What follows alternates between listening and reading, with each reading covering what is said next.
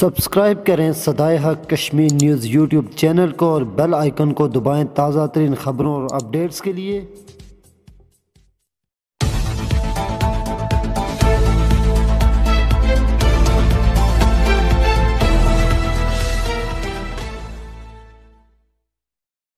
بسم اللہ الرحمن الرحیم، السلام علیکم، میں ہوں عمران عباسی۔ آپ دیکھ رہے ہیں ظلم کے خلاف مظلوم کشمیر کی آواز، صدائے حق کشمیر نیوز چینل۔ کوٹلی عوام کی ناک میں دم کرنے والا چور گرفتار، چور کون ہے؟ دوران تفتیش، سنسنی خیز ان کی شفات اس خبر کی تفصیلات شروع کرنے سے قبل اپنے نئے آنے والے ناظرین کو بتا چلوں گا۔ ہر خبر سے باخبر رہنے کے لیے ہمارا چینل سبسکرائب کرنا مت بھولیں اور ساتھ میں دیے گئے بیل آئیکن کو بھی ضرور دبائیں تاکہ آپ کو ہماری نئے آنے والی خبروں کا نوٹیفکیشن ملتا رہے۔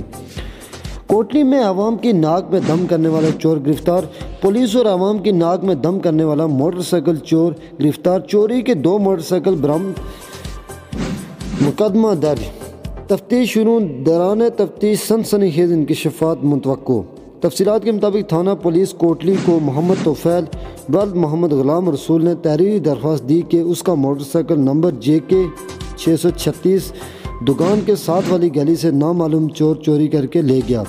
جس پر ایس ایچ او تھانہ کوٹلی مہربان چودھری نے نامعلوم چور کے خلاف مقدمہ درج کر کے additional S H O Chaudhry Abdul Majeed A S I Ishtiaq Ali, تفتیشی افسران Muhammad Jamil, Chaudhry Qayyum Chaudhry Qayyum Ansari, Ghaffar Ahmed, Khalil Chaudhry, D F C, Bostan, Sufyan Basit, Safdar پر مشتمل ٹیم نے مشترکہ کارروائی کرتے ہوئے motor cycle چور یاسر ولد صغیر کو پھلنی کھوئی رٹا سے گرفتار کر کے اس کے قبضہ سے دو موٹر سائیکل برآمد کر کے ملزمان کو حوالات بند کر کے تفتیش شروع کر دی۔ دوران تفتیش پولیس کوٹلی سے چوری ہونے والے دیگر دو موٹر سائیکل بھی برآمد کرنے کے بعد پر امید تفتیشی افسر کا کہنا ہے کہ ملزم بہت ہی چلاک تھا۔ کمال مہارت سے موٹر سائیکل چوری کر کے شہر سے فرار ہونے میں کامیاب ہو جاتا تھا۔